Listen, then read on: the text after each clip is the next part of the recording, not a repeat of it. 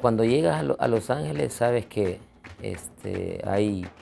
de todas las nacionalidades del mundo y en especial eh, desde México hasta Argentina, todos los latinos y, de alguna otra forma el, fútbol nos, nos representa, el fútbol lo llevamos en la sangre. No, me siento orgullosísimo y yo creo que eh, el seguir siendo parte de, Galaxy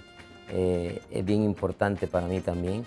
porque cuando llegamos en el 96, no solo llegaron salvadoreños, llegaron mexicanos, llegaron guatemaltecos, hondureños, costarricenses, argentinos, brasileños, de todas las nacionalidades. De alguna u otra forma eh, uno las representaba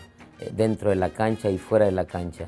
Así que eso fue muy importante y, que el equipo eh, a través del Galaxy nos diéramos a conocer y, que sigamos con la institución, eso dice mucho.